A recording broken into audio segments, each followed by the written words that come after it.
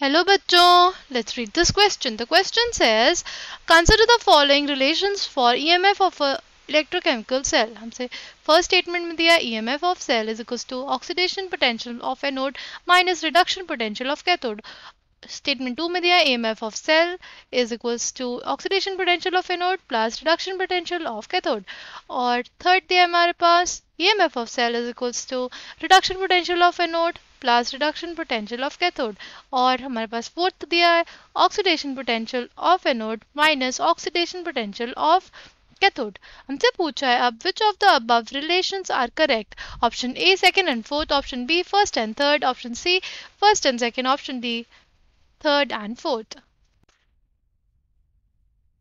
The key concept for this question is EMF. EMF क्या होता है? EMF is basically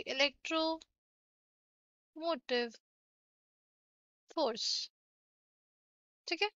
इसको हम लोग डिफाइन कैसे करते हैं? जो हमारे पास, जो पोटेंशियल डिफरेंस होता है the potential difference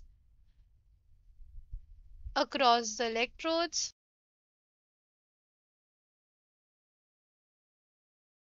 when when no current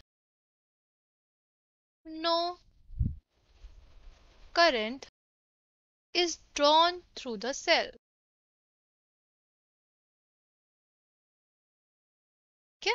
electromotive force EMF जो होता है हमारे पास वो होता है the potential difference across the electrodes when no current is drawn through the cell ठीक नाउ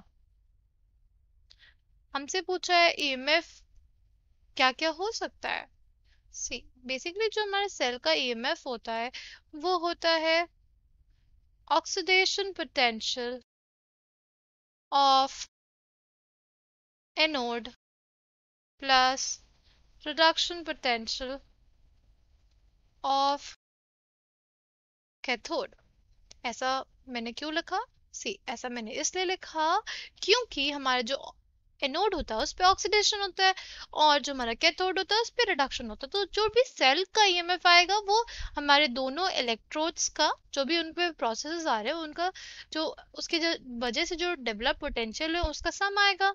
ठीक है? इसलिए हम लोग लिखते हैं ऑक्सीडेशन पोटेंशियल ऑफ़ एनोड और उसमें प्लस करते हैं reduction potential of cathode next equation लिखने से पहले हम लोग ये देख लेते हैं कि जो ऑक्सीडेशन पोटेंशियल होता है will be of reverse sign of reduction potential मतलब अगर हमारा ऑक्सीडेशन पोटेंशियल प्लस वन है तो हमारा जो रिडक्शन पोटेंशियल होगा वो माइनस वन होगा। मतलब बेसिकली वो एक दूसरे से एडिटिव इनवर्स होते हैं। नेक्स्ट रिलेशन लिखे ईएमएफ का तो क्या हो जाएगा? EMF is equals to reduction potential of of cathode minus reduction potential of anode.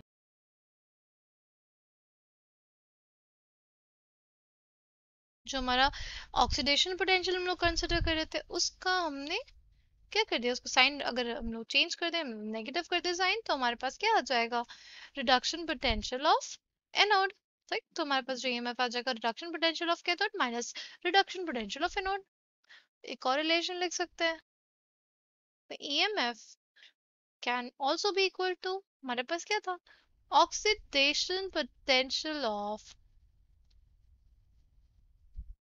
anode okay और क्या लिख सकते हैं? Minus oxidation potential of cathode